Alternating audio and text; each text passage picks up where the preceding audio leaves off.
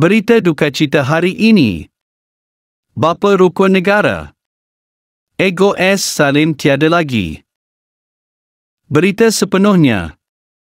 Pakar Ekonomi dan Ketua Setiausaha Kementerian Perpaduan Negara yang pertama di Malaysia, Ego S. Salim menghembuskan nafas terakhir di Hospital Ampang Putri akibat usia tua.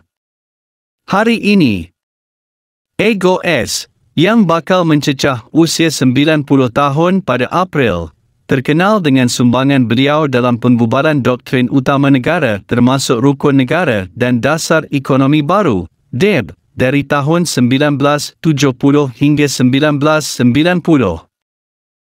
Allah Yarham turut disegani sebagai figura penting dalam proses pembangunan ekonomi Malaysia.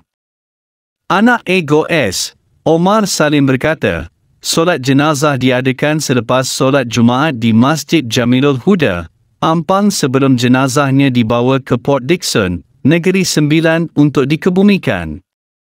Beliau yang merupakan bapa rukun negara banyak menyumbang kepada negara semasa zaman Tun Abdul Razak Hussein, Perdana Menteri Malaysia kedua, katanya, memetik laporan portal Sinar Harian.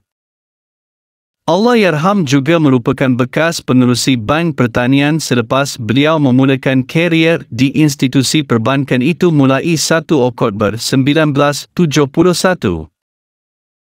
Mari kita sama-sama sedekahkan surah Al-Fatihah. Semoga Allah Yarham ditempatkan dalam kalangan orang-orang beriman. Sekian, itu sahaja berita kami pada kali ini. Semoga anda semua mendapat manfaat dari berita yang kami sampaikan sebentar tadi. Terima kasih kerana sentiasa beri sokongan kepada pihak kami Buletin Semasa. Kami harapkan anda tidak pernah terlepas berita daripada kami pada setiap minit dan jam. Dan jangan lupa untuk share berita kami di Facebook, WhatsApp, Twitter, Instagram dan media sosial anda.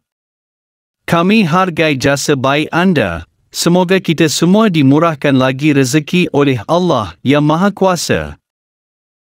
Kredit artikel diberikan kepada Astro Awani. Sekian, terima kasih.